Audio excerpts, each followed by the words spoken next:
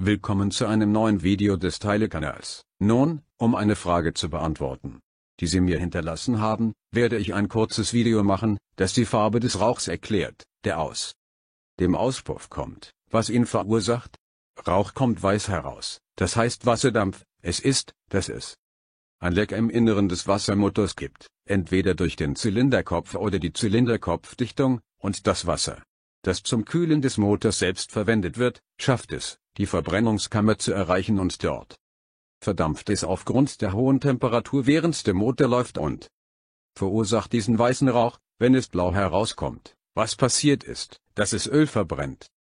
Könnte es an einem Riss im Zylinderkopf liegen, es könnte ein Riss in der Zylinderkopfdichtung sein oder es könnte an Verschleiß der Kolbenringe liegen. Dort tritt Öl aus, brennt und tritt dann durch den Auspuff aus, auch an Verschleiß der Ventildichtungen und wenn Rauch kommt schwarz aus, da dies auf eine schlechte Verbrennung von Gasbrennstoffen zurückzuführen ist Olina oder Diesel. Das liegt daran, dass dieser Mischung Luft fehlt.